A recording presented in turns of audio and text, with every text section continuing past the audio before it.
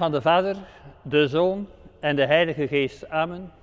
Genade zij u en vrede op kerstmis 2020. Welkom, zusters en broeders, om op digitale wijze het geboortefeest van onze heiland te vieren. Vier weken lang hebben wij ons erop voorbereid. Vandaag heten wij hem welkom. Kwetsbaar als een mensenkind komt God naar ons toe. Daarover mogen wij ons verheugen. Is Hij bij ons welkom? Mag Hij rekenen op onze gastvrijheid? Durven wij kijken als herders in de nacht? Zijn wij, zoals de wijzen, bereid zijn ster te volgen? De weg naar het echte kerstfeest is een stille weg. Die loopt door ons eigen hart. Een weg van inkeer en bekering. Misschien is het genoeg even de ogen te sluiten en zich zo klein te voelen als een herdersjongen in de nacht. Omdat wij dikwijls geneigd zijn andere sterren te volgen, willen wij in de Kyrie-litanie eerst om vergeving vragen.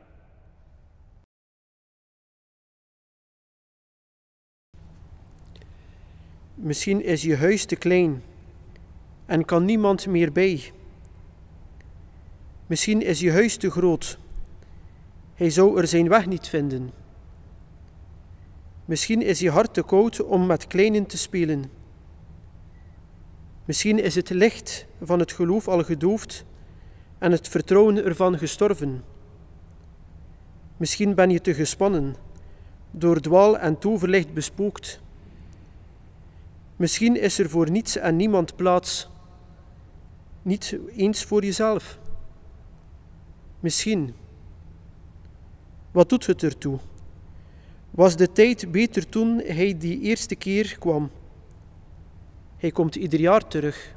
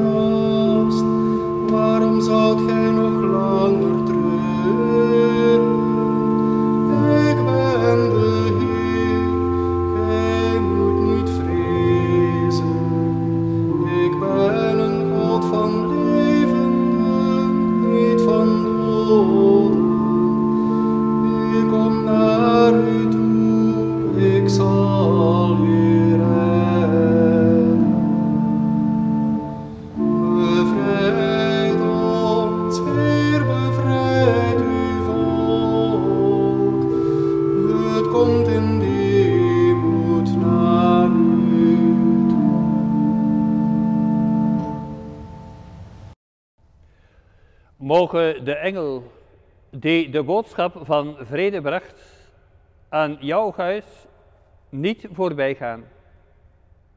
Mogen het kind dat in zijn armoede zijn goddelijkheid verborg, in jouw hart woning vinden. Amen.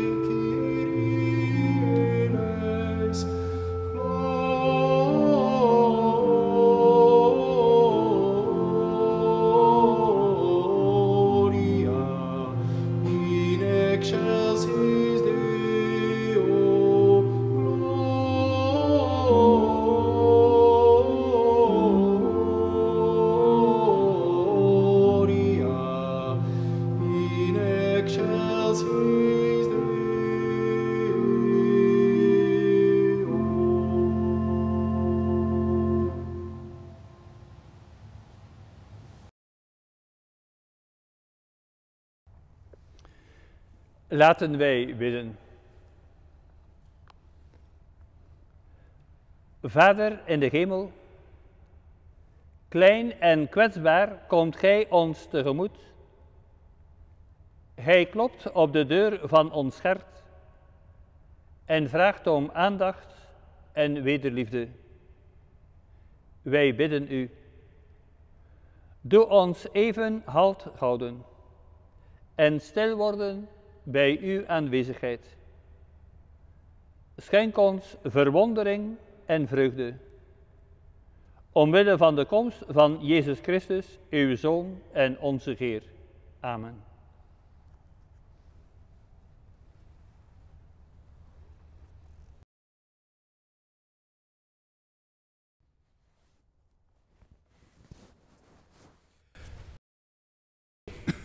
We lezen uit de profeet Jesaja.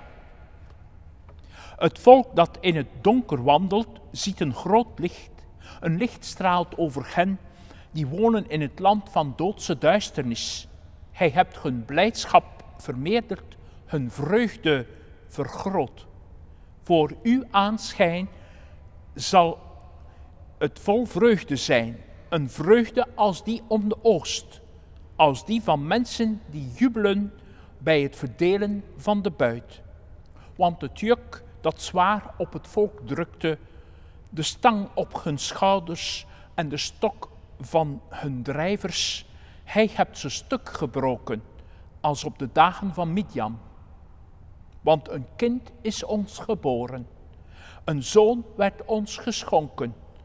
Hem wordt de macht op de schouders gelegd en men noemt hem wonderbare raadsman, goddelijke held, eeuwige vader, vredevorst. Een grote macht en een onbeperkte welvaart zullen toevallen aan Davids troon en aan zijn koninkrijk, zodat het gegrondvest zal zijn van nu af tot in de eeuwigheid. De ijver van de Heer, der hemelse machten, brengt het tot stand. Tot hier de eerste lezing.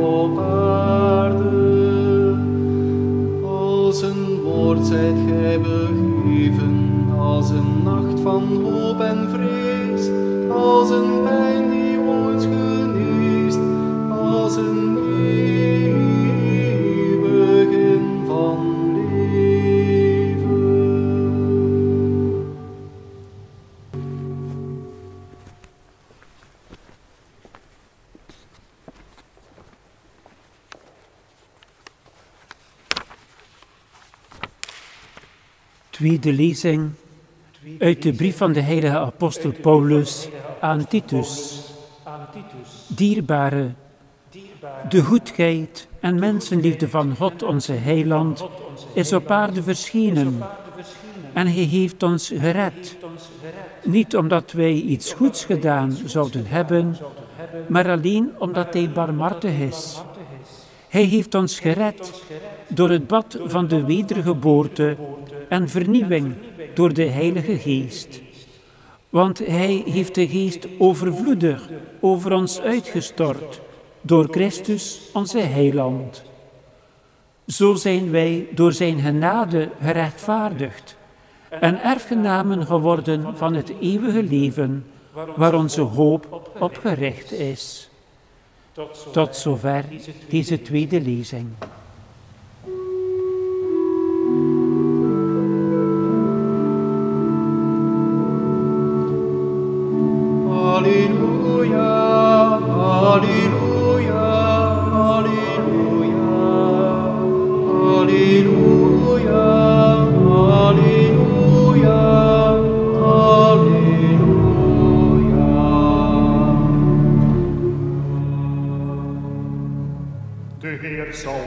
Zijn. De Heer zal bij u zijn. De Heer zal u Bij het heilige evangelie van onze Heer Jezus Christus volgens Lucas. Lof zij u, Christus.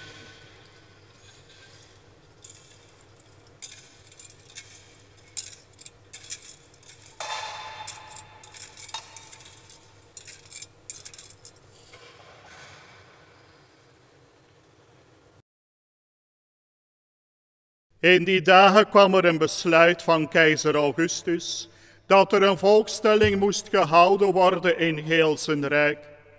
Deze volkstelling vond plaats eer Quirinius, de landvoogd van Syrië, was. Alle gingen op reis, ieder naar zijn eigen stad, om zich te laten inschrijven.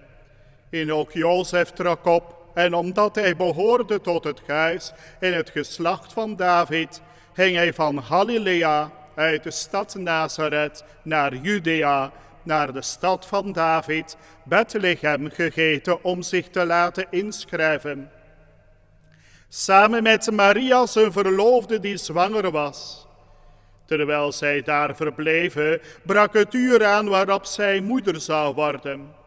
Ze bracht een zoon ter wereld, haar eerstgeborene. Ze wikkelde hem in doeken en legde hem neer in een kribbe, omdat er voor hen geen plaats was in de herberg. In de omgeving bevonden zich herders die in het open veld gedurende de nacht hun kudde bewaakten. Plotseling stond een engel des Heren voor hen en zij werden omstraald door de glorie van de Heer, zodat ze door grote vrees werden bevangen. Maar de engel sprak tot hen, vrees niet, want zie, ik verkondig u een vreugdevolle boodschap die bestemd is voor heel het volk. Heden is u een redder geboren, Christus de Heer, in de stad van David. En dit zal voor u een teken zijn. Hij zult een pasgeboren kind vinden in doeken gewikkeld en liggend in een kribbe. Opeens voegde zich bij de engel een hemelse geerschare. Ze verheerlijkte God met de woorden, eer aan God in den hoge en op aarde, vrede onder de mensen en wie hij welbegagen geeft. Woorden van de Heer. Ik verkondig u een blijde boodschap, heden is u een redder geboren, Christus de Heer. Halleluja,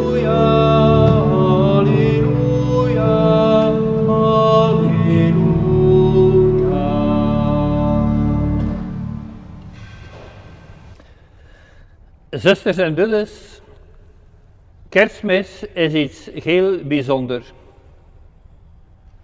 Het woord dat aan de grondslag ligt van alles wat ons omringt en van wie we zelf zijn, is mens geworden.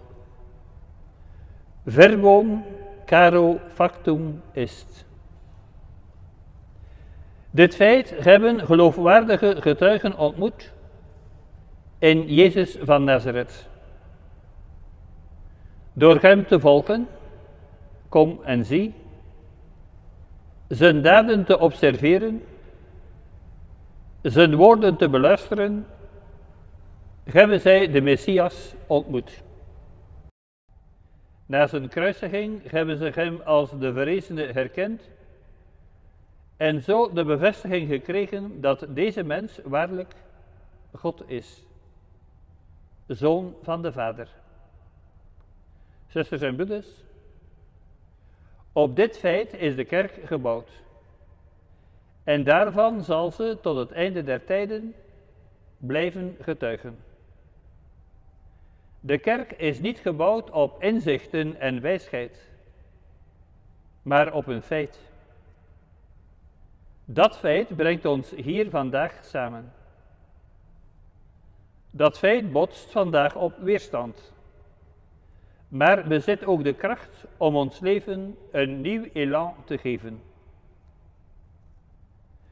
Daarom is kerstmis veel meer dan wat wij er spontaan van maken.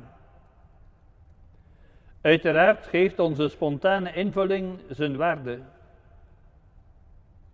In de rush van het leven even stilvallen.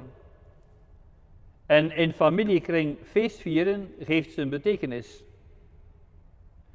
Al is dit door de coronamaatregelen beperkt tot de eigen bubbel. En voor alleenstaanden beperkt tot één knuffelcontact en één iemand daarnaast.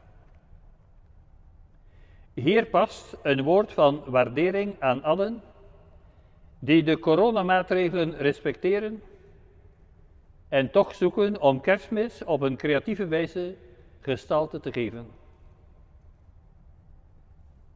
Maar dit soort kerstvieren mag ons niet blind maken voor de eigenlijke betekenis van dit feest. Kerstmis behoort, naast Pasen, Pinksteren en Allerheiligen, tot de grote vier van de christelijke liturgie. Het woord is mens geworden. Zozeer is God met ons begaan dat Hij zich helemaal aan ons riskeert. Zelfs in de omstandigheden van een pandemie blijven wij kostbaar in zijn ogen. Pretiosus in oculi suis, naar de wapenspreuk van onze bisschop Lode. Zo ingrijpend was ooit dit initiatief dat wij het ieder jaar omgeven met een eigen decor. Groen en licht, beelden, een ster en een staal. Nochtans heeft toen ter tijd bijna niemand Jezus' geboorte opgemerkt. Tenzij een handvol herders en een drietal wijzen.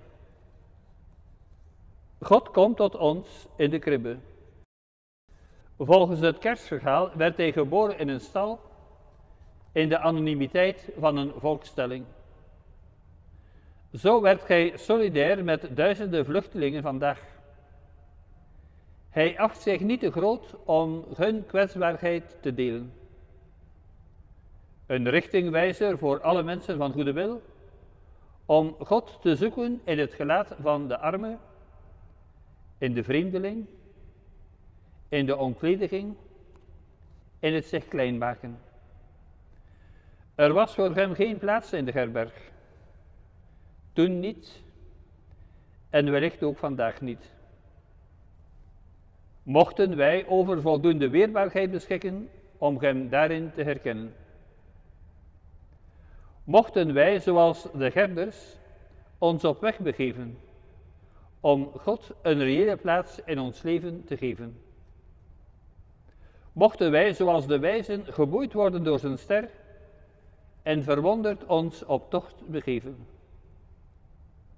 En als deze ster dan boven het goddelijk lint stil blijft staan, mochten wij hem dan geven de warmte van ons hart, de standvastigheid van onze inzet, onze sterktes en zwaktes, ons enthousiasme en onze twijfels. Want zo wil God ons ontmoeten, niet als supermensen, maar als kwetsbare schepselen. Als mensen die zich gedragen weten door zijn liefde. Verbum caro factum est. Zo wordt kerstmis een actueel gebeuren. Een voorafschaduwing van onze eigenlijke bestemming. Uit uw hemel zonder grenzen komt gij tastend aan het licht, hoorden we daarnet in een van de kerstliederen. Waarom toch nam het eeuwig woord dit initiatief? We kunnen allerlei redenen bedenken. Maar er is maar één verklaring die stand houdt. Zo, zo intens is God op ieder van ons betrokken, dat gij het risico van de zelfontlediging heeft aangedurfd. Met andere woorden, God ligt in de hemel niet te slapen. Hij die Abraham riep en aan Mozes zijn naam geopenbaard geeft, komt op kerstmis in hoogst eigen persoon naar ons toe. En zo bevestigt gij ons in het vermoeden dat wij niet het resultaat zijn van een blind toeval. Geen speelbal van het coronavirus, maar toegerust zijn met het vaccin van zijn liefde. Dat vaccin zal ons begoeden voor zinloosheid en lichte en ons beschermen tegen de vereenzaming die wij aan den lijve ondervinden. Het woord is mens geworden, opdat alle mensen van goede wil deel zouden krijgen aan dit goddelijk woord. Dat is trouwens onze toekomst. En daar willen we nu al op kerstmis werk van maken. Amen.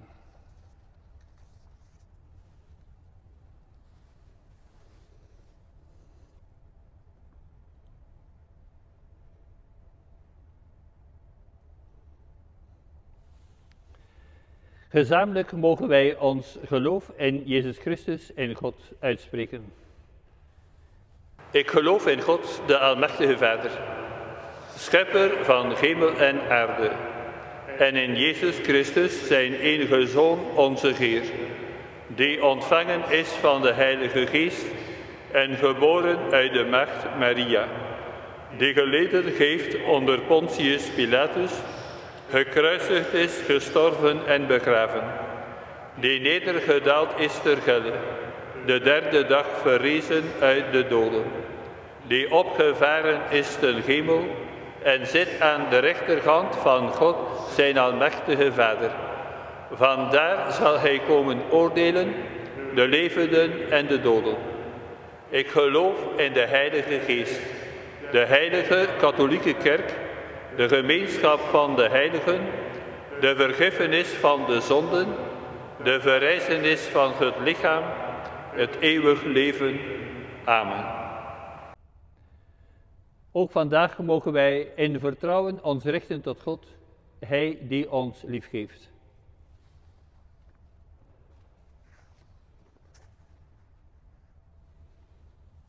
Omwille van de engelen bidden wij voor allen die het goede nieuws verkondigen in woord en daad. Voor priesters en diakens, voor catechisten en parochieassistenten, dat hun woorden en daden aanzetten tot geloof en levenszin. Laten wij bidden. Kom, o Heeren, wacht niet langer. Kom ons redden in deze tijd. Omwille van Maria en Jozef bidden wij voor allen die opgejaagd worden, een speelbal van de machtigen. Voor mensen zonder aanzien aan de rand van onze samenleving, dat hun gegeven wordt wat ieder mens toekomt: aandacht, gastvrijheid en geborgenheid. Laten wij bidden.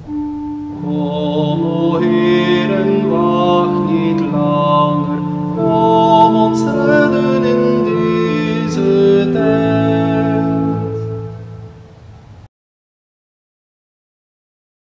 Omwille van de herders bidden wij voor allen, die zich inzetten voor hun medemensen, in het bijzonder voor zieken en bejaarden, dat zij in corona-omstandigheden uw vriendelijkheid in ons midden blijven ervaren. Laten wij bidden. Kom, o Heeren, wacht niet langer. Kom ons redden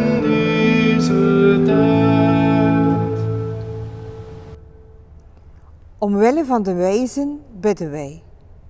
Voor alle mensen die zoeken naar zin en waarheid. Dat zij in het vieren van de liturgie een spoor van Gods menslievendheid ontdekken. Laten wij bidden. Kom, o Heeren, wacht niet langer. Kom ons redden in deze tijd. God, luister naar deze voorbeden en help ons met aandrang tot U te bidden. In het voetspoor van Jezus, uw veelgeliefde Zoon en onze Heer. Amen.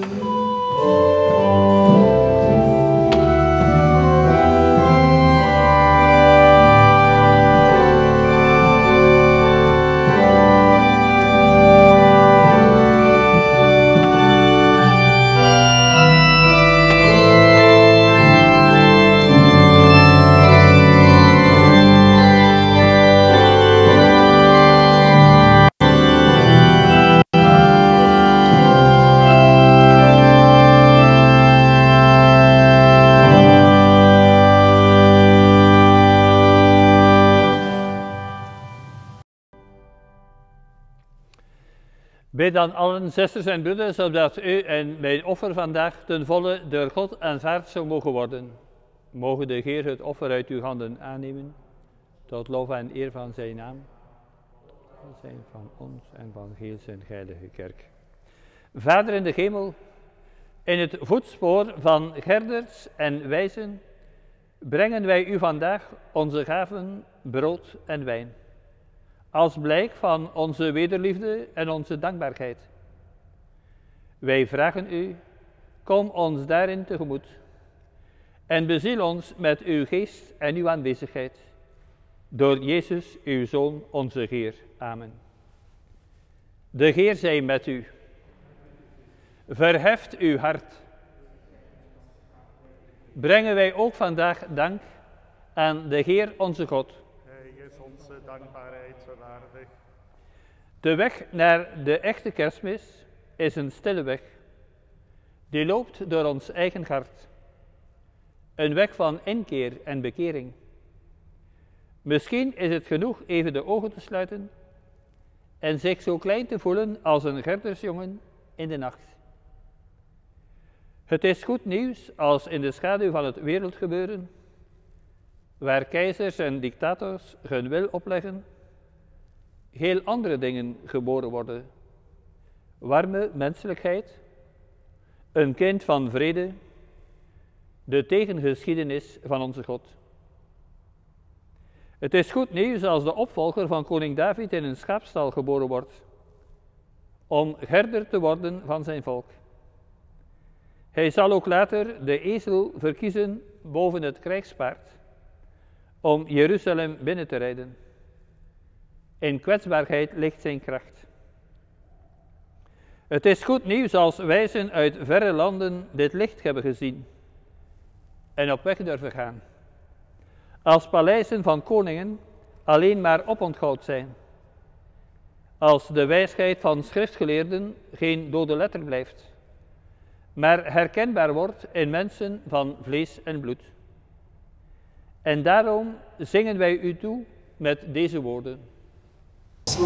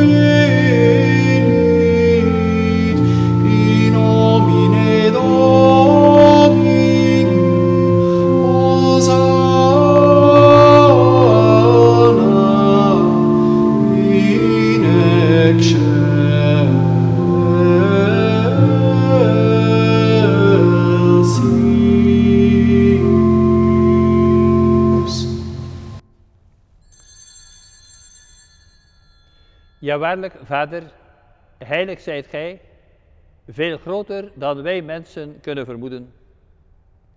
Laat dan uw geest op deze gaven rusten, dat zij voor ons worden een kerstgebeuren, een nieuwe start, lichaam en bloed van uw veelgeliefde Zoon, Jezus Christus, onze Heer.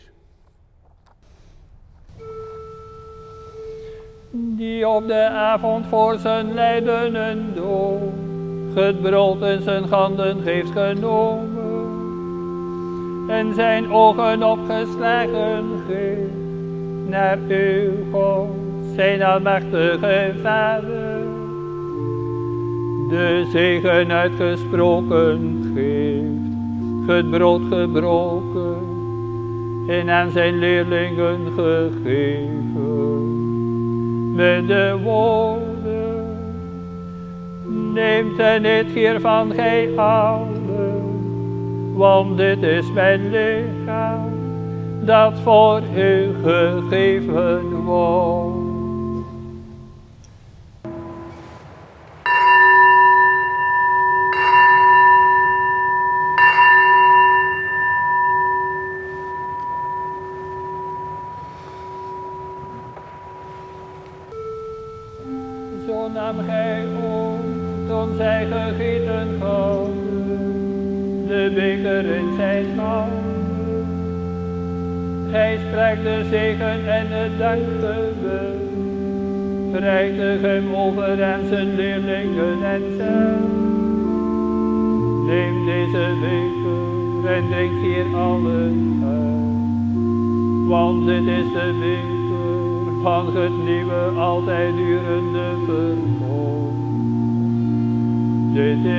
Mijn bloed, dat voor u en alle mensen wordt vergoten, tot vergeving van de zonde. Blijf dit doen om mij te gedenken.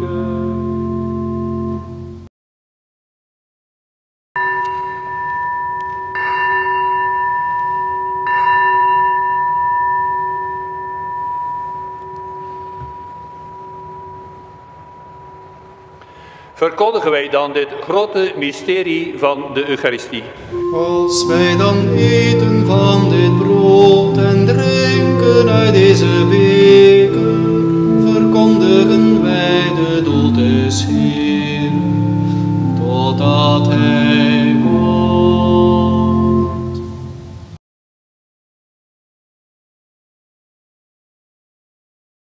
Hemelse Vader, uw Zoon geeft ons dit teken van zijn liefde nagelaten. Wij vragen u, schenk ons uw geest in deze maaltijd. Dan zal deze geest verwijderen wat scheiding brengt. Laat u ons bewaren in de gemeenschap van de kerk, in eenheid met Paus Franciscus en onze bisschop Lode, verbonden ook met de priesters en diakens en allen die zich inzetten voor uw volk.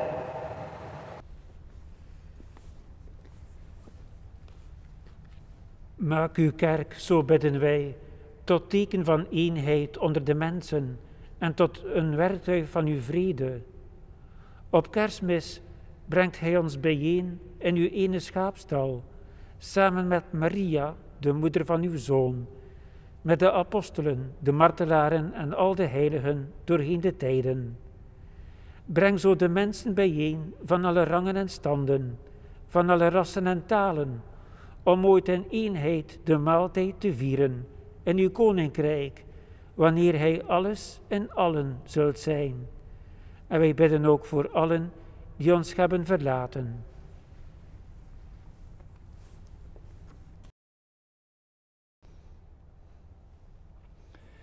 In deze coronatijd voor alle mensen die rekenen op de steun van ons gebed. Dat zij ten volle thuis mogen komen in Gods liefde. Door hem en met hem en in hem zal uw naam geprezen zijn, Heer onze God, almachtige Vader, in de eenheid van de Heilige Geest, Heer en nu en tot in eeuwigheid. Amen.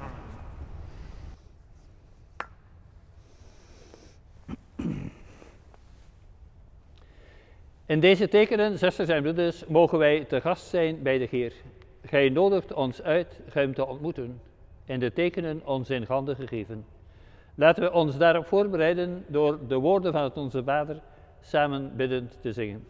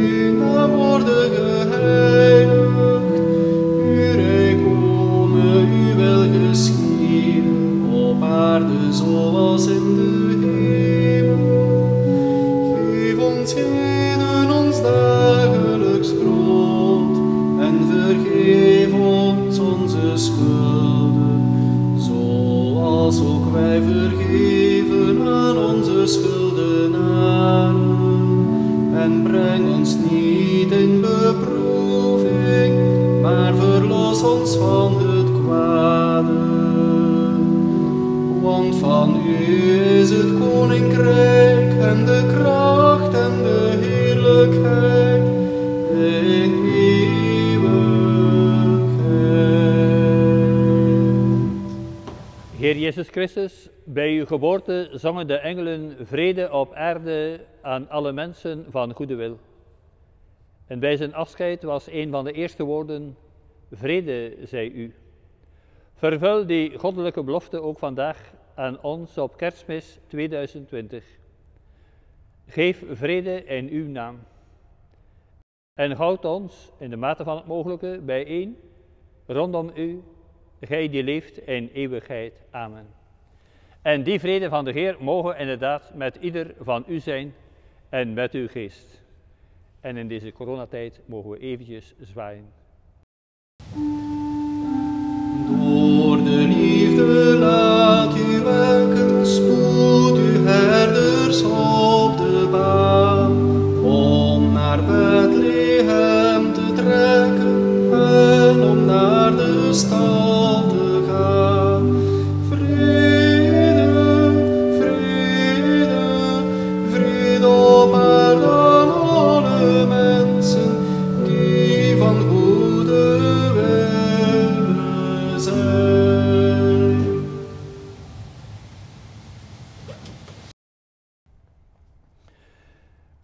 zijn we dan, omdat we in dit gebroken brood Jezus Christus mogen ontmoeten.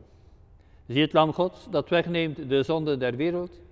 Heer, ik ben niet waardig dat gij tot mij komt, maar spreek en ik zal gezond worden. Lichaam en bloed van Christus. Amen.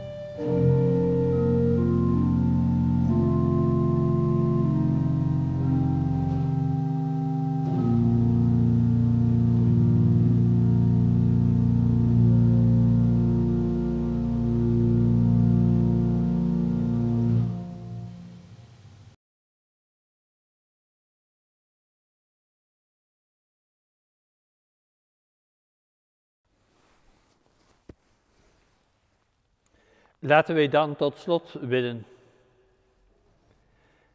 Hemelse Vader, Gij zijt ons tegemoet gekomen in het verhaal van de kribbe. Gij hebt uzelf aan ons geschonken in brood en wijn. Wij danken u voor deze grote gaven en bidden, maak ons weerbaar om uw ster te volgen, om uw lichtje te zijn. Leer ons wandelen in het voetspoor van Jezus, uw mens geworden woord en onze Heer. Amen. De Heer zij met u. Zusters en broeders, kerstmis, het is een feest van thuiskomen. Voor ons christenen, op de eerste plaats in het geloof en in het vertrouwen op onze Heer. We hebben Hem welkom gegeten in de liturgie van kerstmis. Mocht Gij nu onze vreugde zijn, zodat we ook thuis een warme kerst kunnen vieren. En dit onder de zegen van Gods menslievendheid. De Vader, de Zoon en de Heilige Geest. Amen. Gaan we dan heden in vrede en een zalig kerstmis voor ieder van u. Amen.